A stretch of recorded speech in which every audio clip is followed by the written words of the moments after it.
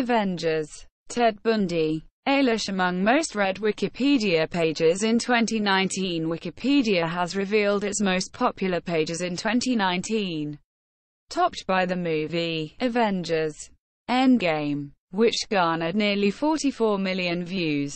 Following it with a listicle, Deaths in 2019, with 37 million views and article about American serial killer Ted Bundy, viewed 29 million times.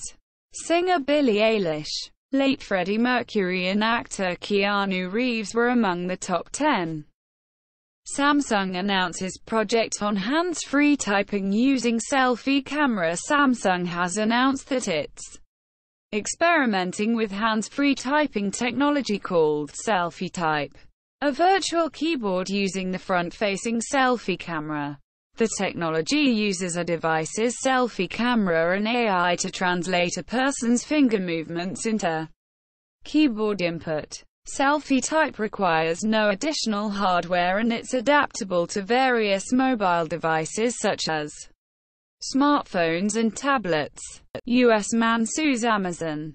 Says hacker spoke to kids via Ring security camera A U.S.-based man has filed a lawsuit against Amazon and its Wi-Fi-enabled security camera system Ring, saying that its defective design leaves purchases vulnerable to cyber attacks.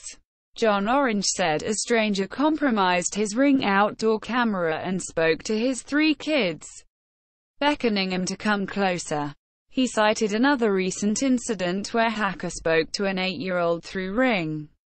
Programmer loses game he made as a kid finds it online 25 years later a programmer, Rick Brewster, shared online his discovery of a DOS-based role-playing game inspired by a text adventure from a 1984 instructional book, which he had made in 1994 at the age of 12. After having lost it when young, Brewster found his game being streamed online after 25 years. Quote, F. An alley found its way home on Christmas Eve, tweeted Rick.